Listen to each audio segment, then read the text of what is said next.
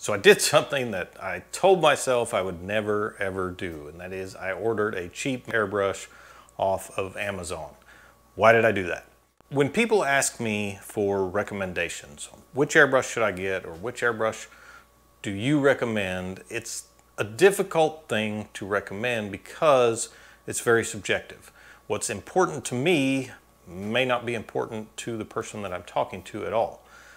My stance has always been both in my YouTube videos and in person to spend a little bit of extra money and buy a known branded airbrush. At the same time, I can see the appeal of these cheaper products because airbrushing is not a cheap hobby to get into. I mean, by the time you buy an airbrush, a compressor, and some paint, you're easily going to be into it for a few hundred dollars. And those of us that have been doing this for a while know but it doesn't stop there. There are other things that you're going to want to purchase along the way. So what did I get? I wound up buying the Master G233. As you can see on your screen, I've had this airbrush now for a little bit over a year at the time of this video anyway.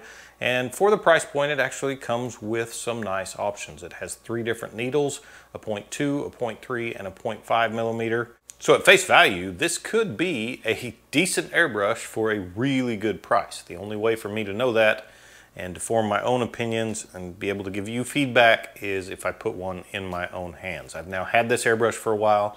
I've actually had a lot of time to use it and play with it and develop my opinions when compared to the other airbrushes that I own in my arsenal and hopefully this feedback will help you make a better informed decision if you happen to be looking at one of these airbrushes. The first thought that I had, the very first thought when I pulled this airbrush out of the box and held it the first time was, man, this thing feels heavy. Now that could have been my imagination, so I decided to put it on a scale and compare it to some of the other airbrushes that I own. And as you can see, this Master Airbrush does weigh more than any other airbrush that I currently own by at least two to three grams. The other initial observation that I had the first time that I held this brush also has to do with the weight, but this time I want to talk about the weight bias. I really prefer an airbrush that is either perfectly balanced, which they do exist, but you'll see most airbrushes will have the weight biased toward the front of the brush, which gives you a more natural feel when you're airbrushing because we're generally either level with our canvas or slightly pointed down. It's not really natural to airbrush with the back of the brush lower than the front of the brush. Now if the weight distribution or the weight bias being toward the handle of the brush is a problem for you, there is a solution that you can try and that is simply removing the rear handle of the airbrush and that changes the weight distribution. So now the weight is toward the front of the brush. You can try this. I personally do not like it because the needle chuck and the end of the needle tend to get caught in the web of my hand, but it is something you can try. The other downside to doing that with this particular brush is this brush actually has a feature that you normally see on higher end airbrushes, and that is the needle stop at the end of the handle. If the handle is removed, you won't be able to use the needle stop. What the needle stop does is it controls or stops how far back you can pull the trigger. So by screwing the needle stop in, now I can only move the trigger back a very slight amount. This is not a feature that I ever use on any of my airbrushes, but I can see how it could be helpful for someone new to this that doesn't quite have full control of the airbrush. So if you're working on something detail oriented and you're worried about pulling the trigger back too far and releasing too much paint, you can use that needle stop to control exactly how far back you can pull the trigger and that in turn controls exactly how much paint the airbrush will spray.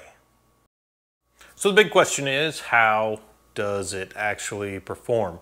I have some Createx Illustration Violet already mixed up. This is mixed at about a one to one and a half ish ratio. So I have one part paint and probably somewhere close to one and a half parts of 4011 reducer. My air pressure is set at 20 psi. I have found that this particular airbrush likes to spray the paint a little bit thinner compared to my other airbrushes and I'll talk about why or what I think is a partial reason behind that.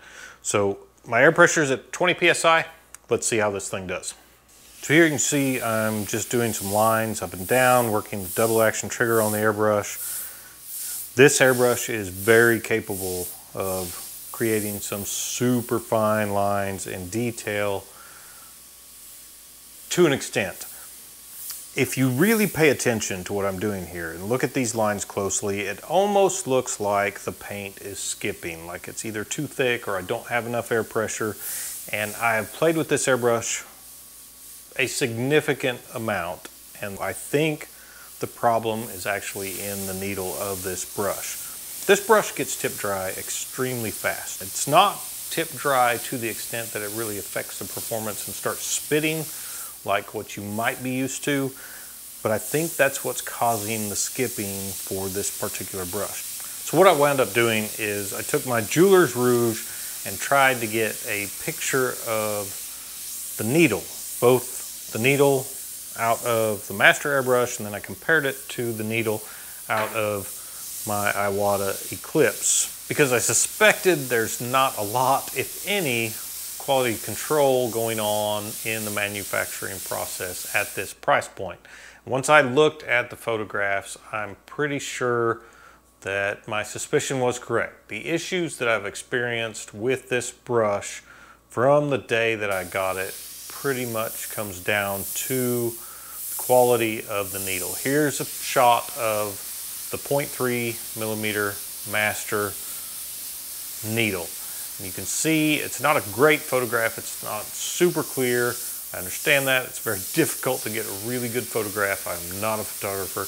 But if you look at the tip of the needle, the portion that would be in the fluid nozzle and out to the tip, that's the most important part of your airbrush needle. And you can see that it's pretty rough. In comparison, here's a shot of my 0.35 millimeter needle out of my Iwata Eclipse, and there's a significant difference. So this is absolutely one of those cases where you get what you pay for. But I did mention that you can get some really nice detail out of this airbrush. I'll demonstrate that on this other piece of paper. Now again, this is a $39 airbrush. I'm actually impressed with how well it does work. It does have some shortcomings.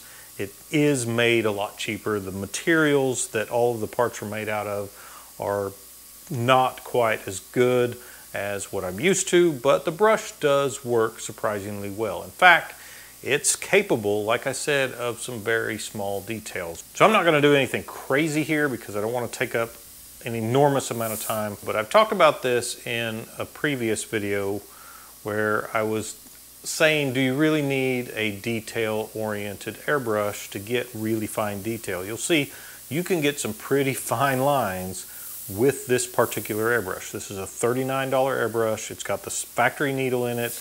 I haven't done anything to improve the performance of this airbrush. It is as I got it out of the box with the 0.3 millimeter needle and nozzle set. And here I'm just working on a quick little skull where this airbrush does fall short is where I would expect it to fall short. It is not as smooth and precise as the other airbrushes that I am used to working with. You'll see my lines are not as smooth and crisp and clean as I would like them to be, which is difficult enough when you're working on something very small like this but it is a little bit easier when you have that precision and that smooth trigger pull that this airbrush just lacks. The paint doesn't always start exactly when I think it's going to, which is another downside. That comes down to that precision factor. It's going, it's not far off. It's also very difficult to do this with a camera literally right next to my face. So my lines aren't super clean and crisp, and this is not meant to be a finished artwork. It's something quick and small just to give you an example of what this airbrush can actually do because it is capable of some pretty fine detail. It's not suited for doing really fine detail all the time, in my own opinion, but it is capable of doing so.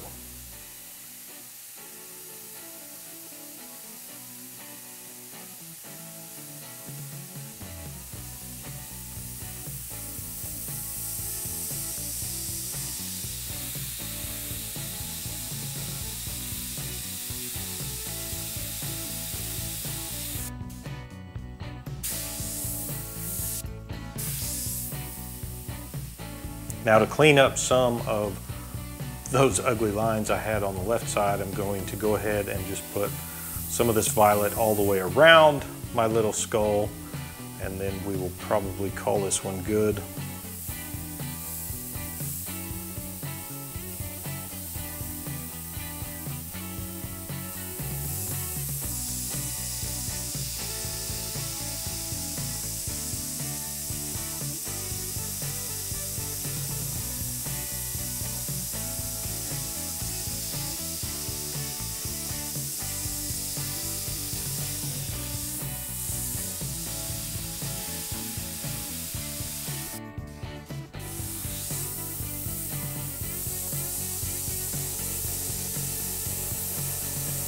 In the end, the performance of this airbrush actually exceeded my expectations. I didn't really anticipate this brush working as well as it actually does. It does have its faults. It's not the greatest airbrush out there by any means, but for what it is and the price point that you can purchase one at, I'm actually pretty impressed, which I guess is a testament to the more than 6,000 reviews that are on Amazon. Here's a quick little shot of the airbrush cap for this airbrush next to the little skull just to give you kind of a reference for the actual size.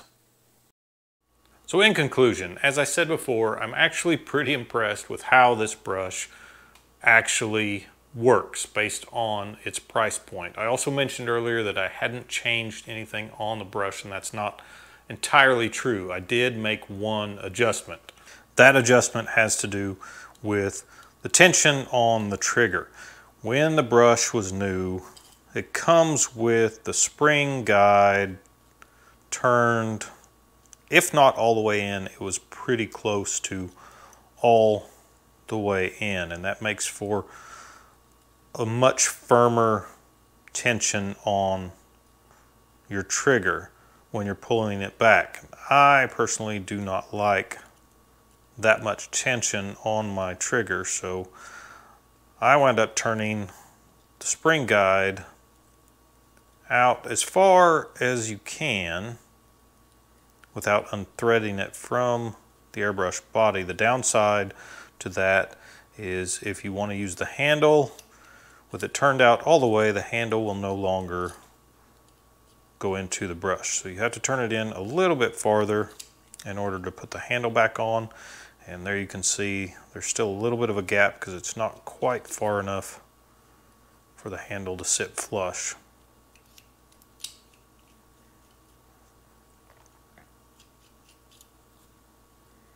And a little bit farther because the end of the threads on the handle are actually making contact with the spring guide when it's backed off that far. But that gives me a lot less tension on the trigger. The only other thing that I've changed is I put a quick connect on the airbrush for my air hose. Everything else is as it came out of the box, including that needle. And like I said, I've had issues with the paint not spraying super smooth the entire time that I've used this brush. And when I finally looked at the needle under the Jeweler's Rouge, it makes sense now why that is. How can you fix that? You could go in and sand that and polish the needle. Me personally, I'm not going to do that because it's just not worth my time. And the airbrush needles are also tapered. If you start sanding on that, you're going to change that taper to some degree, no matter how careful you are. That could be better, it could be worse, I just don't know. With all my other airbrushes, I've never had to sand and polish any of my airbrush needles. They are really good right out of the factory. Could you find another 0.3 millimeter needle to use in this airbrush, another brand? You probably could. Again, the tapers are normally proprietary to each brand, so the taper may not necessarily match the fluid tip on this airbrush, and I doubt that the fluid tip from another airbrush is going to attach to the threads on this airbrush. It is possible if that's something that you wanted to play with. At the end of the day, yes, this airbrush is better than I thought it was going to be. I was pleasantly surprised and a little bit impressed with its performance. I would still stand by what I've always said previously because the difference between this brush and a good known name brand airbrush is night and day. If you start out with one of these and then you later switch to another brand airbrush, I think you will probably be wondering why you didn't do it a lot sooner. It is that much of a difference. If you're somebody who is on a super tight budget and this is literally all you can afford, it's not a bad brush and it will get you by for a while. So I will leave a link to this in the description below. It's an Amazon affiliate link. If you are interested in purchasing one of these and you use that link, you're helping to support the channel and I greatly appreciate that. I hope all of this made sense. If you got something out of this, remember to like, subscribe, and share. I'm Trevor with Wicked Art Studio. I will see you all next time.